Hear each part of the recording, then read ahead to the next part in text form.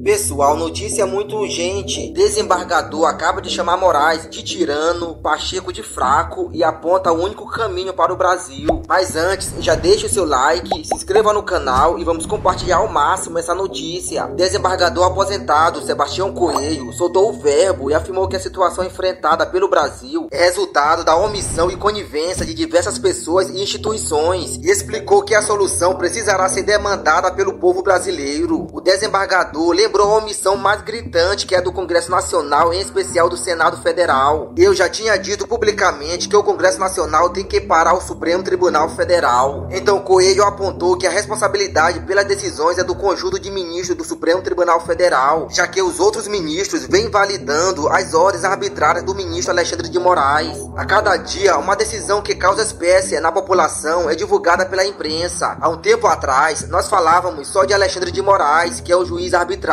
é um ser que eu não sei nem como adjetivá-lo, mas ele tem prazer em ser o que ele é, algoz, um tirano. Mas o senador, que era ministro da Justiça, agora está no exercício do cargo de senador e vai tomar posse no Supremo Tribunal Federal. Da tribuna do Senado, ele disse: não é Alexandre de Moraes, é o Supremo Tribunal Federal. E ele tem razão. Ele tem razão porque as decisões do Alexandre de Moraes, por mais absurdas que sejam, elas têm sido referendadas pelo Supremo Tribunal Federal na sua quase totalidade, exceção dos ministros André Mendonça e Nunes Marques. Os demais estão ali sob o comando de um outro ministro, o todo-poderoso Alexandre de Moraes. Então, o desembargador lembrou as repetidas operações da Polícia Federal contra o entorno do ex-presidente Jair Bolsonaro e apontou o erro de continuar apenas denunciando os abusos de autoridade. Eu tenho ouvido e assistido muitas manifestações de parlamentares do povo apontando o que já foi feito. Gente, os abusos do STF e do TSE, que é um puxadinho, um anexo, um apenso do Supremo Tribunal Federal, nós já sabemos. Vamos ficar discutindo o passado só se for para contextualizar. Nós temos que discutir são ações concretas para interromper essa escalada autoritária, abusiva, absurda que está acontecendo no nosso país. Então, dito isso, o desembargador reconheceu que, embora a responsabilidade seja do Congresso, não é razoável esperar que qualquer solução venha de lá. Ele lembrou que os parlamentares deveriam representar o povo e prosseguiu. A primeira ação deve ser no Congresso Nacional. Eu já tive a oportunidade de dizer a alguns parlamentares que o Congresso deve parar, obstruir 100% as suas atividades, parar totalmente. Até quando? Até quando o Supremo Tribunal Federal voltar a cumprir a Constituição? Não adianta essa historiazinha de Rodrigo Pacheco Vou fazer a PEC para mandatos para os ministros do STF. Vai adiantar o que? Atinge os atuais ministros, os abusadores, é para os futuros. Então, na prática, não resolve nada. Então, se o Congresso não reagir e parece estar, enfim, nós já não estamos acreditando mais. A solução é o povo, o povo parar esse país.